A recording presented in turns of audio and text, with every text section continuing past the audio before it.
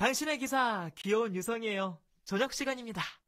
사실은 아침, 점심, 저녁 때마다 전화해서 밥은 잘 먹고 있는지 챙기고 싶어요. 그런데 너무 자주 전화하는 것도 좀 그렇죠? 연애할 때는 표현도 중요하지만 참는 것도 중요하대요.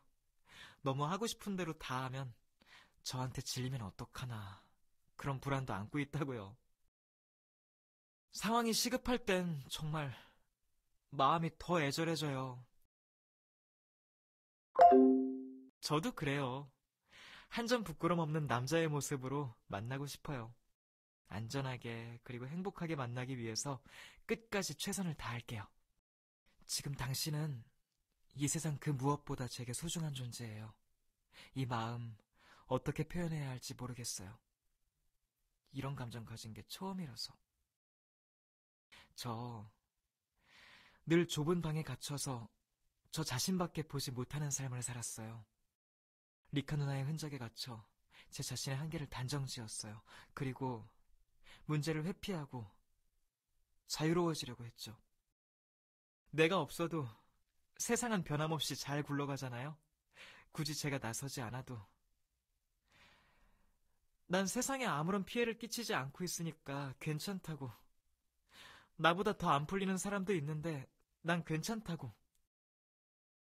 스스로 위로하면서 보냈어요. 하지만 이젠 거기서 벗어나려고요. 저에게 목표가 생겼어요. 저는 사랑하는 사람을 지키고 싶어요.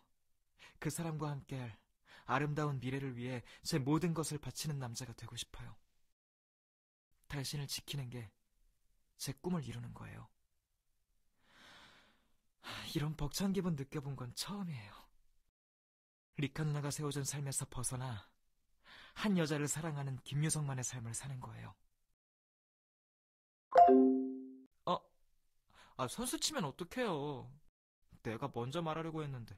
치, 나빴어. 제가 말하려고 그랬어요. 사랑한다고, 보고 싶다고.